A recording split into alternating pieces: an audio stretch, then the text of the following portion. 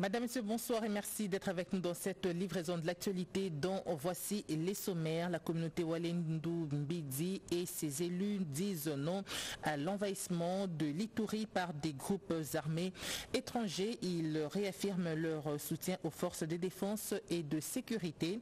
Ils ont exprimé cela dans une déclaration. Et puis, la population d'Ilebo de la province du Kassai était dans la joie à l'occasion du lancement du projet Pas un village beaux sont au forage d'eau, une initiative du sénateur Clément Mouya Mouboyaï. Et puis dans le cadre de l'assainissement de l'environnement, un partenariat a été signé entre le gouvernement provincial du Nord Kivu et l'espace euh, solution. Les poubelles des marchés publics sont désormais évacuées et cela régulièrement. C'est euh, à la satisfaction euh, de cette population. Voilà tout pour le sommaire. Une fois de plus, bonsoir et merci d'être avec nous dans cette livraison de l'actualité. Une action disciplinaire à charge du premier président de la Cour de cassation du Holomami vient d'être ouverte. C'est le premier président de la Cour de cassation au même siège de cette haute instance de l'ordre judiciaire qu'il a ouvert. Nous allons suivre plus de détails dans ce reportage de Marie-Reine Débat. Le parquet général, après la Cour de cassation, a déféré en procédure de flagrance devant cette haute cour trois prévenus, dont M. Tombo Tobola, premier président de la Cour d'appel de Olomami, et des autres juges de la même cour, les reprochant d'infraction de corruption dans l'exercice de leurs fonctions. Le procureur général s'est fondé sur un audio relayé dans le réseau incriminant ces prévenus. Au cours de cette première audience, des de trois prévenus ont comparu et le parquet général a promis de faire comparaître le troisième prochainement. L'audience a été consacrée à l'identification de prévenus et à un exposé sommaire de faits par le parquet. La composition avait rendu son arrêt le 29 juillet 2024 sont respectivement premier président, président et conseiller à la Cour d'appel et trois prévenus. À noter que, parallèlement à ces poursuites pénales, les trois prévenus sont également sous les coups d'une action disciplinaire. Affaire à suivre. Des travaux de grande envergure sont déployés dans la voirie de la province de l'Équateur. Le gouverneur de province a assisté au lancement de ces travaux. Regardez. La route nationale numéro 8 entre la ville d'Mbandaka à l'équateur et Bouende dans la qui assurait jadis le déplacement des personnes des biens sur une distance d'environ 510 km, se trouve dans un état de dégradation très avancé. Ce sont des étangs d'eau, des ponts défectués et des sentiers rétrécis au point de ralentir la circulation qui domine ces tronçons. Difficile pour les paysans d'évacuer les produits des champs. Des motards ont également du mal à traverser cette route ça s'est cassé la jambe. Un des habitants des Béfalais dans la Chuapa donne la piste des solutions pour sauver la situation. Nous sommes à Béfalé. Pour nous, la population, telle que nous voyons l'état de cette route, nous devons nous prendre en charge, puisque c'est nous qui souffrons pour nos déplacements par vélo et autres moyens. Les gens d'ici euh, font l'erreur de croire que la responsabilité de réfectionner cette route revient aux députés. Or, ni les députés, ni leurs enfants ne passent par cette avenue. Les rumeurs courent comme quoi la réhabilitation de cette route serait déjà financée.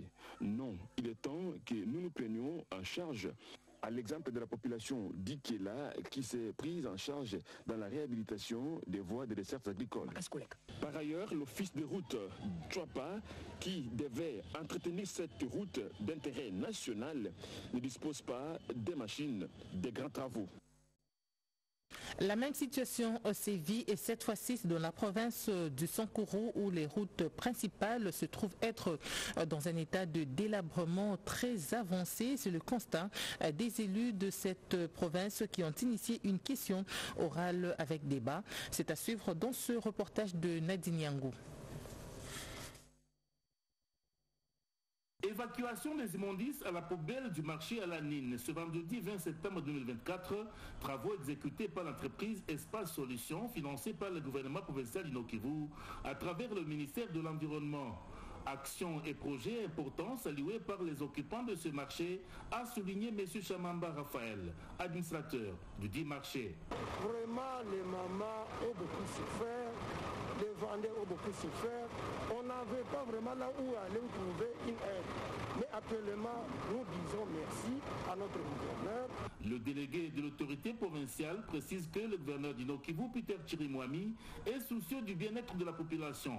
Il investit dans l'assainissement aussi. Évacuer l'état d'immondice qu'on retrouve euh, dans différents marchés de la ville de Goma et si bien d'autres sites. Pour le directeur de l'entreprise Espace Solutions qui exécute ces travaux, la santé de la population est une priorité? Nous sommes dans la suite de nos activités par rapport au contrat de partenariat avec la province pour l'évacuation des immondices dans tous les marchés de la ville, donc les marchés urbains et communaux. Et aujourd'hui, nous sommes ici ce n'est pas la fin. On va continuer sur tous les marchés et on va assurer que le travail fait soit maintenu et soit un peu pérennisé. En satisfaction pour les vendeurs du marché à la Nine, l'évacuation des immondices est un soulagement pour eux. L'opération arrive à point nommé. Nous sommes très contentes. Le gouvernement fait une très bonne action pour évacuer cette poubelle. Que Dieu le bénisse. Nous étions exposés par la maladie de la fièvre typhoïde qu'il ne se fatigue pas d'évacuer cette poubelle. Après le marché à la Nine, la poubelle du marché KMB a été également évacuée. Le marché ciblé par le projet sont Virunga, KMB, Biere, Alanine, Majengo, Ndoso et Kituku. Plutôt l'assainissement du milieu dans la province du Nord Kivu où un partenariat a été signé entre le gouvernement provincial de cette province et l'espace Solution. Nous allons avancer pour nous rendre dans la province du Kassai central. Après avoir bouclé son séjour des vacances parlementaires, le sénateur Jean Tshisekedi Kabasele ne croise euh, pas les bras. Il a doté la population de la commune de Nganza des forages d'eau. Reportage. La population du quartier Nsele, dans la commune de Langanza, à Kananga, chef-lieu de la province Kassai central, obtient un ouf de soulagement. Après plusieurs années de 17, des forages d'eau sont déjà opérationnels.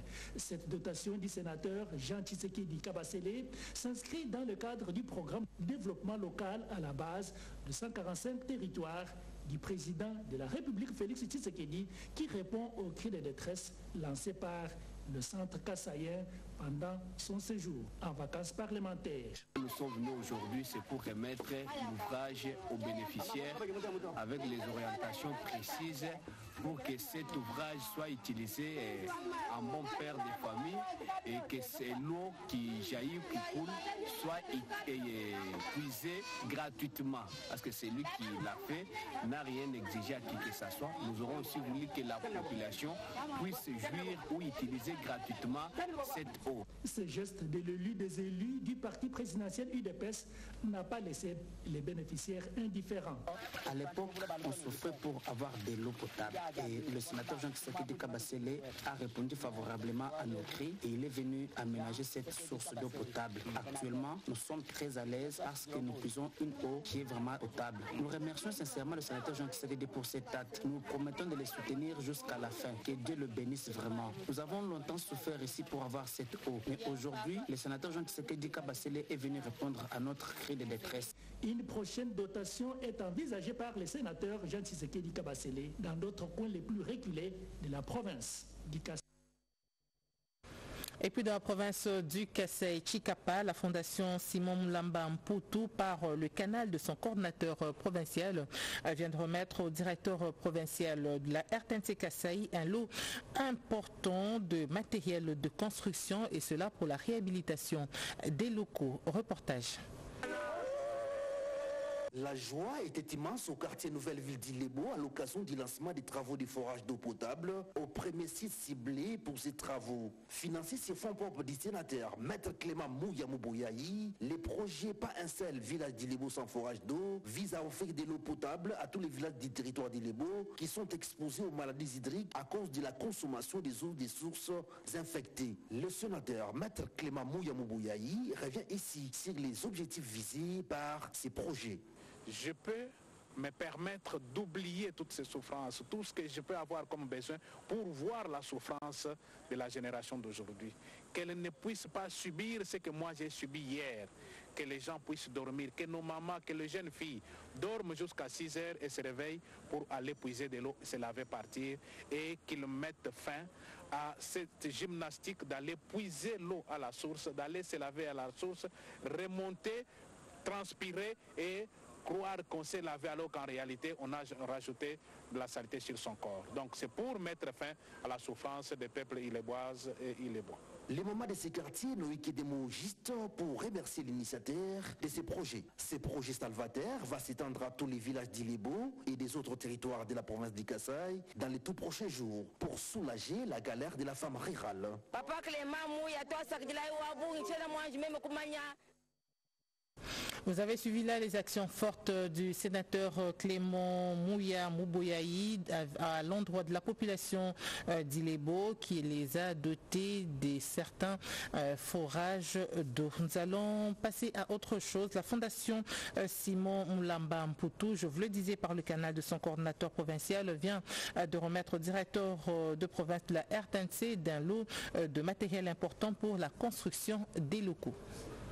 Il l'a dit, il l'a fait. Lui, c'est l'honorable Simon Moulambampoutou, l'homme des actions concrètes, qui, lors de son passage dans les installations de la RTNC Kassai, pendant la période de ses vacances parlementaires, a promis au directeur provincial de la RTNC, Tati Moulumba Kamba, de venir en aide à cette station provinciale du Kassai. Euh, nous avons été ici pour faire la remise officielle d'un lot des dons de la fondation Simon Moulamba, une fondation qui soutient le développement, une fondation donc, qui n'est pas politique.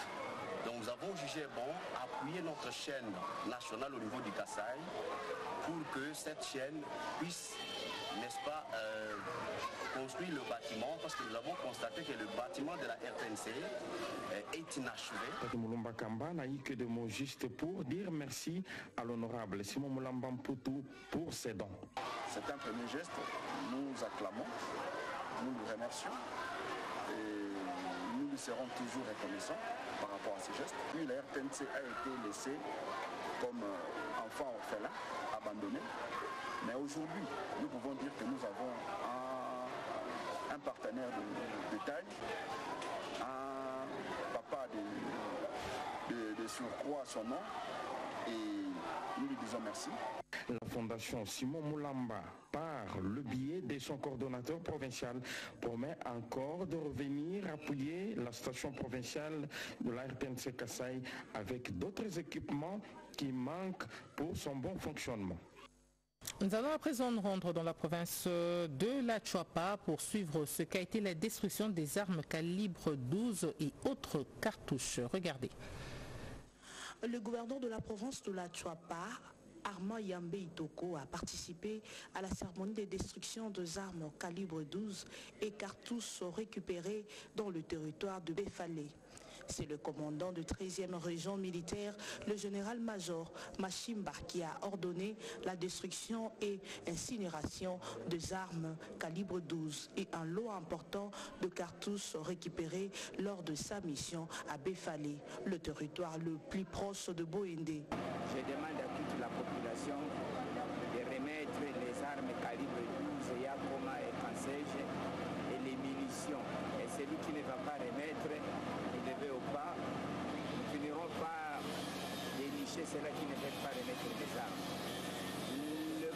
armi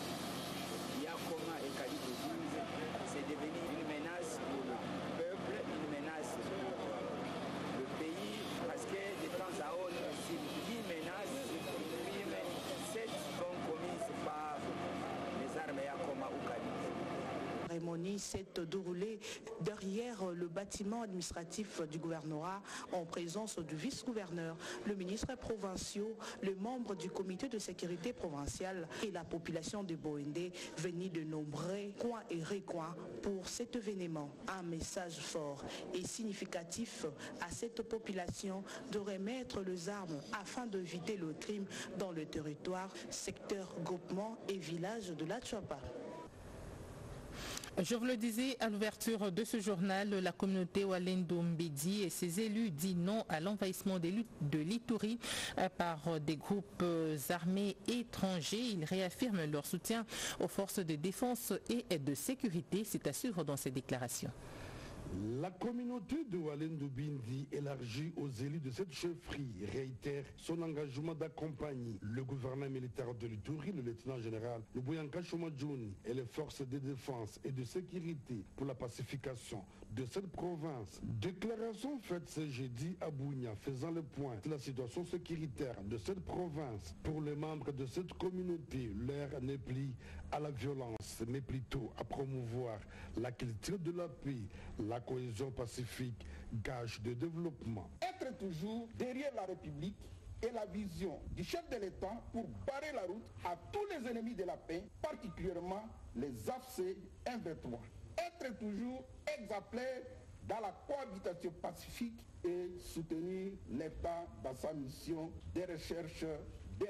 Dans cette même déclaration, un appel a été lancé aux communautés itouriennes à se désolidariser à la philosophie des agresseurs du M23 et les dénoncer immédiatement. Décourager les membres qui adhèrent à la philosophie des agresseurs M23 et de les dénoncer immédiatement. Deux, soutenir les actions menées par les chefs de l'État en faveur de la paix et la sécurité de la République démocratique du Congo en général et de l'Itourie en particulier. Soutenir le gouverneur militaire et les forces de sécurité et de défense pour la pacification de l'Itourie, sensibiliser leurs membres de promouvoir la culture de la paix et enfin sensibiliser les différents groupes armés locaux à adhérer au processus PDDRCS pour une paix durable en Ituri. Depuis la recrudescence de la violence armée fin décembre 2017, la communauté de Walendu Bindi est acquise à la cause de la paix. Le groupe armé FRPI, signataire d'actes d'engagement de paix depuis plus de 20 ans, est toujours en attente de la mise en œuvre du PDDRCS à l'instar d'autres groupes armés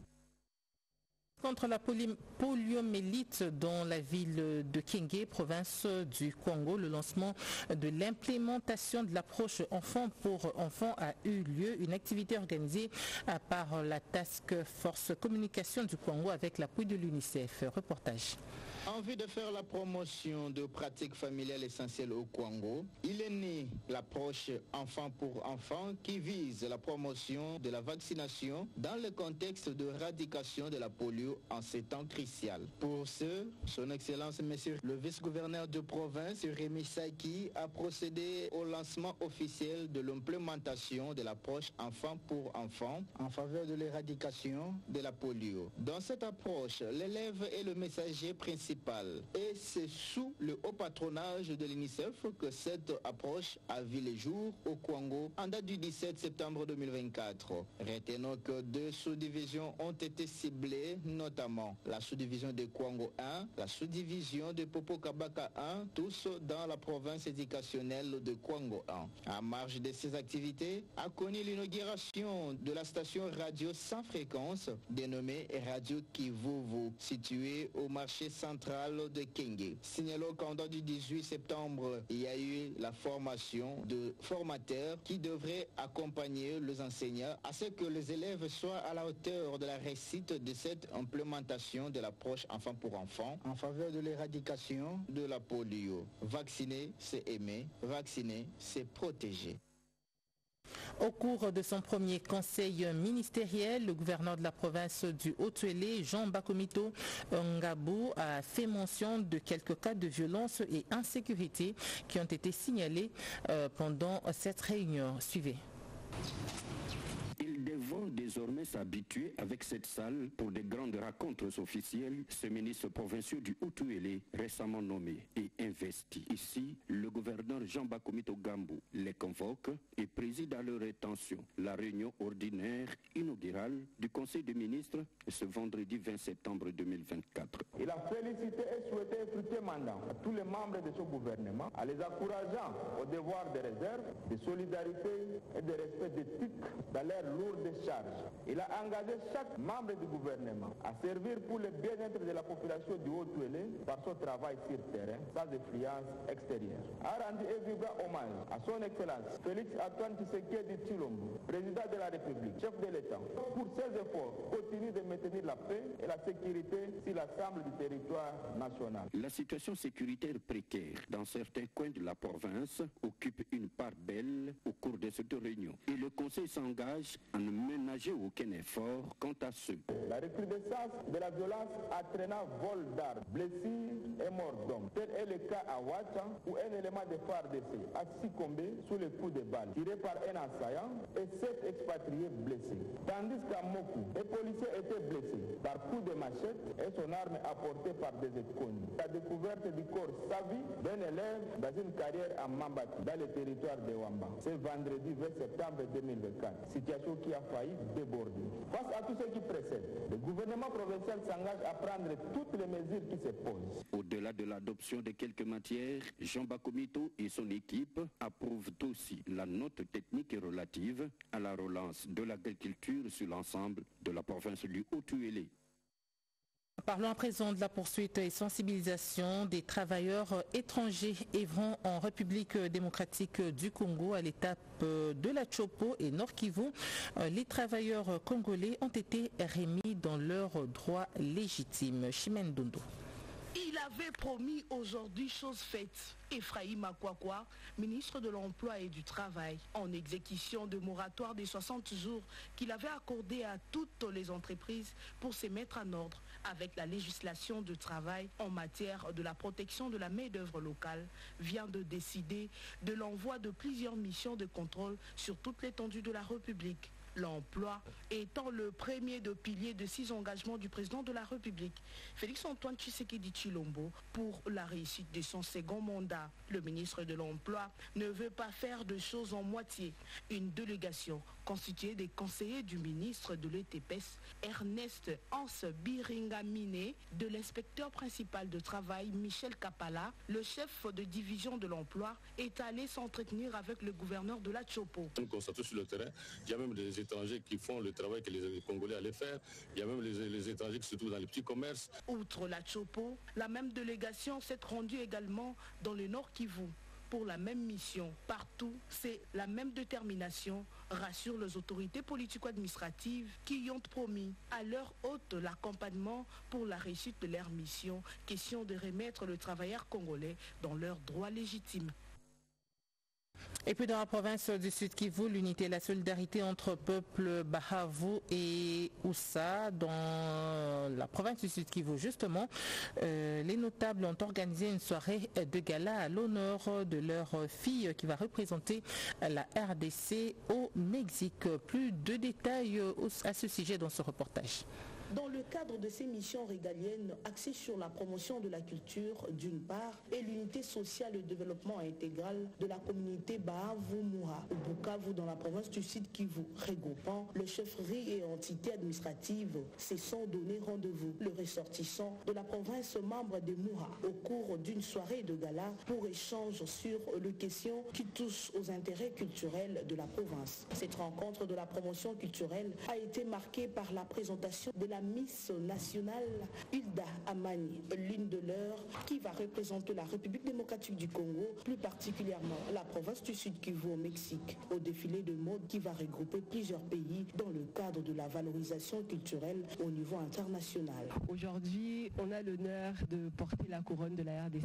Je suis très fière et très reconnaissante de savoir que j'ai toute ma communauté derrière moi. Je vais vous faire honneur au Mexique à la finale de Miss Univers RDC 16 novembre du fond du cœur. Merci. Cette soirée de gala convoquée par Jean-Marie Bampori Kimane Gabé, président de la communauté Moua Kinshasa, veut rendre actif la vision du chef de l'État, Félix-Antoine Tshisekedi Chilombo, sur l'encadrement de la jeunesse et le développement économique dans les provinces. Notons que la communauté Moura et le rassemblement des Bohavu dans la province du Sud Kivu. Elle comprend la communauté des Urambi, Calais et Idui, avec comme objectif de mettre en avant les valeurs culturelles. Mobilisation autour des actions du chef de l'État Félix-Antoine Tshisekedi Chilombo. Cette mobilisation a fait l'objet d'un point de presse que je vous convie de suivre dans ce reportage. Malgré les divergences sociologiques, ethniques et culturelles, les filles et fils de la RDC sont déterminés à rester unis face à toute forme de tentative de déstabilisation de la souveraineté nationale. Le président de la formation politique Orange l'a dit lors d'un point de presse au collège Boboto. Aujourd'hui encore, notre nation se retrouve défiée, agressée par certains États pions. Leur discours est de démontrer à travers le monde que le problème du Congo, c'est la division entre Congolais. Ce qui est faux, car les Congolais demeurent unis face aux exigences qui touchent sa souveraineté. Voilà pourquoi il est impérieux de montrer à notre peuple et à la face du monde que la RDC est notre seul patrimoine commun et notre force réside dans l'unité. Siyundondo Boni a également salué l'esprit d'ouverture du chef de l'État et la disponibilité des leaders religieux et de la société civile à prôner l'unité.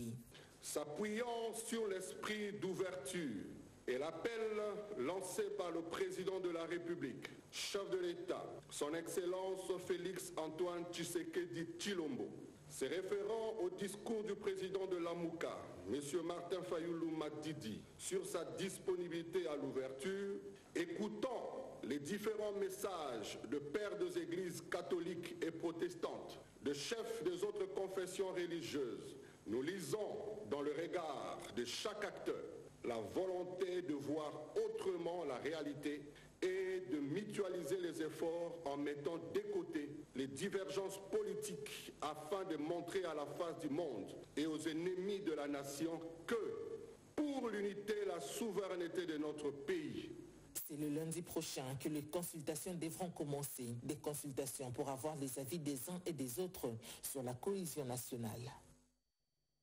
Emmanuel Hassani, il est le créateur des armoiries de la RDC.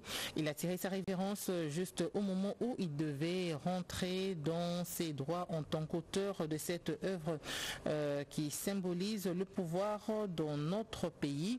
Euh, pour ce faire, la famille de l'illustre disparu a été reçue par le président du conseil d'administration de la société congolaise des droits d'auteur et droits voisins Sokoda pour trouver une solution à ce sujet. David Moubenga nous en dit plus. Ceux qui ont travaillé pour la République ont droit de mériter une récompense de la nation. C'est le cas d'Emmanuel Hassani d'heureuse mémoire, géniteur des armoiries de la République démocratique du Congo. C'est dans ce cadre que la famille de l'illustre disparu a été reçue par le président du conseil d'administration de la société congolaise de droits d'auteur et droits voisins Sokoda en sigle Jossar Nyokalongo. Hassani, de son vivant, avait approché la Sokoda concernant le paiement de ses droits d'auteur pour cette œuvre qui sont cette œuvre, les armoiries de la République.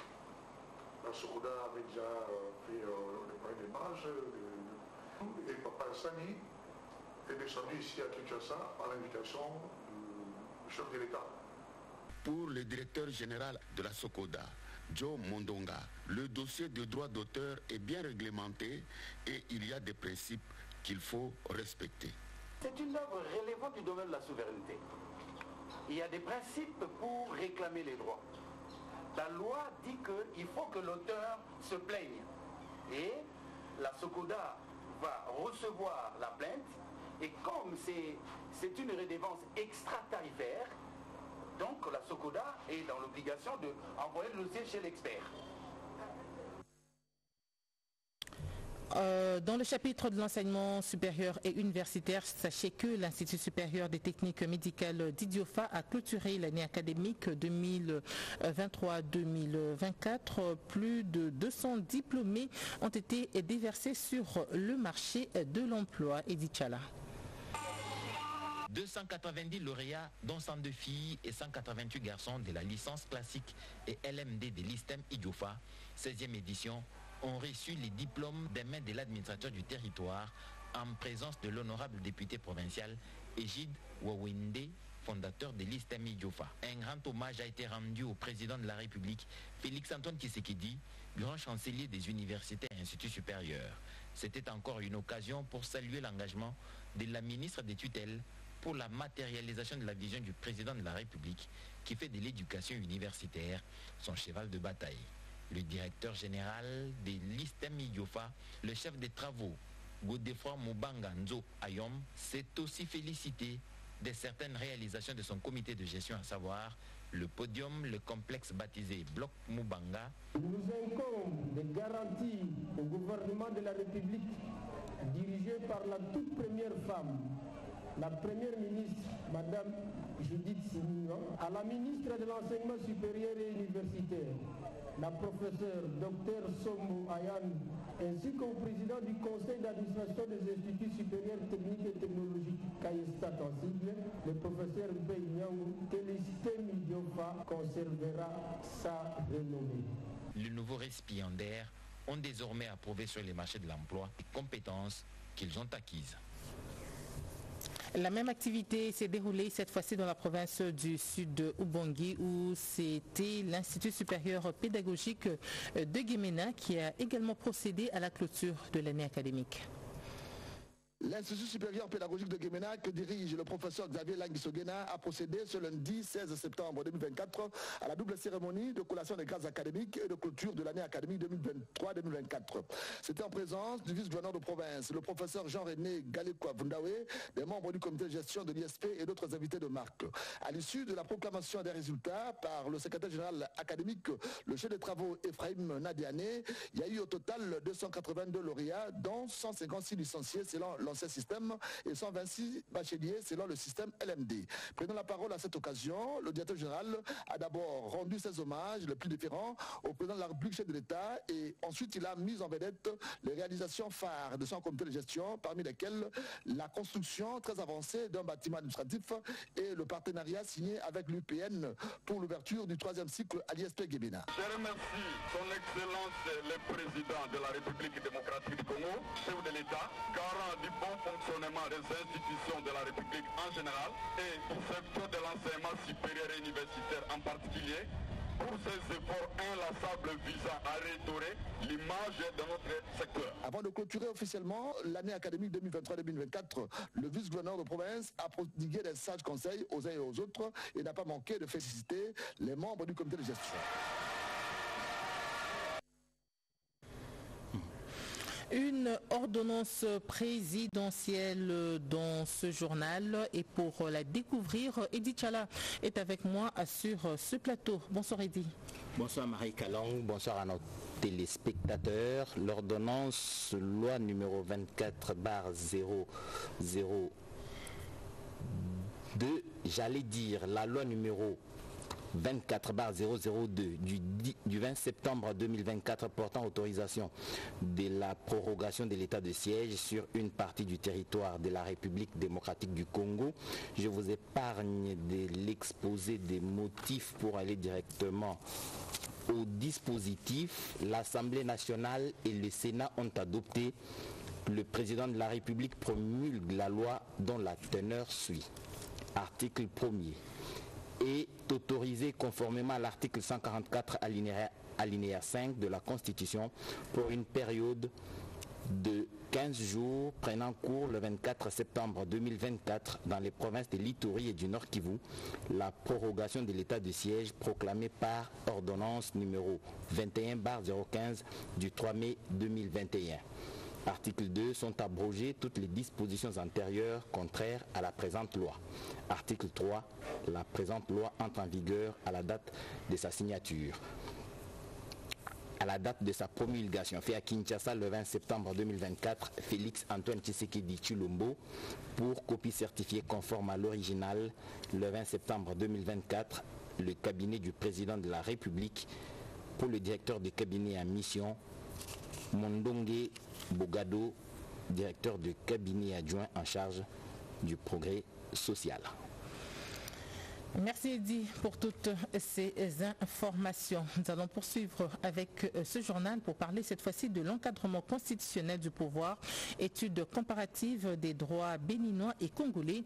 Ainsi, la thèse défendue par Corneille Yambou Angoyi pour l'obtention de son titre de docteur en droit. Fanny Malonga nous en parle.